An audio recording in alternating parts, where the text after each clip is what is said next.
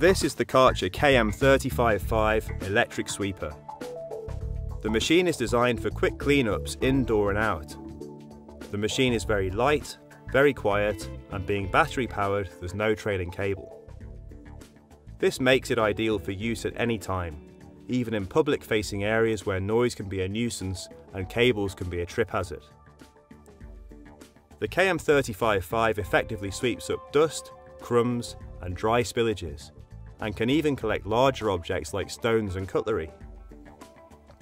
It's easy to operate, just a single on-off switch on the base that can be foot controlled.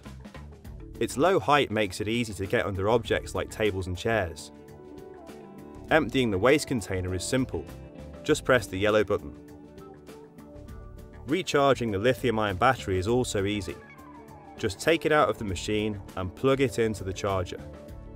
The fast charger fully charges the battery in 4 hours. Running time is up to 30 minutes.